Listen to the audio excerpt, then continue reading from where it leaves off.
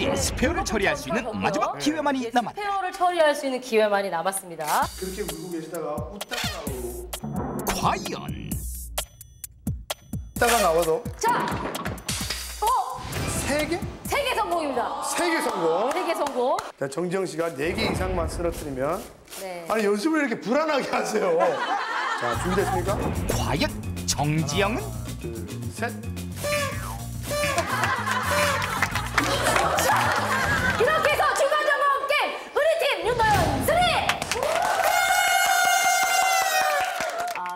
허용권이 주어질 텐데요. 세 개의 두루마리 가운데 한 개는 빌복기 허용권, 나머지 두 개는 꽝이 숨겨져 있습니다. 두 개를 선택하시기 바라겠습니다. 어, 어. 주저 없이 2번을 네, 선택하셨습니다. 네, 그렇습니다. 자, 이제 시청자분들께 두 분의 남은 잔액을 공개합니다.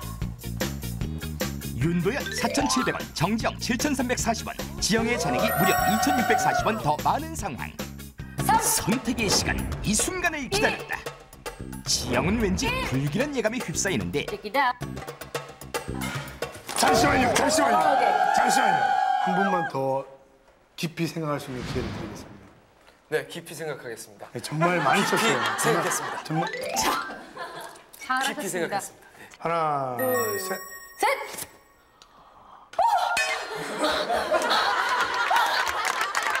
죄송합니다. 자, 가져가세요. 그럼 남자 대 남자로서 하나 제안을 부탁드려도 되겠습니까? 오늘 2,660원을 써주십시오. 뭐 제가 그냥 좀 뭐 무시하셔도 됩니다. 예, 무시하겠습니다. 예, 저라도 정영돈 씨 말을 무시했을 겁니다. 예, 예, 그렇습니다. 예. 이제 외톨이가 되신 겁니다. 예. 정말 한 번만 더 부탁드리겠습니다. 자, 남은 날 동안 어떤 방법을 이루실 건지 우리 윤도현 씨가 한번 40원을 여쭤볼게요. 예. 쓰실 의향이 없으십니까?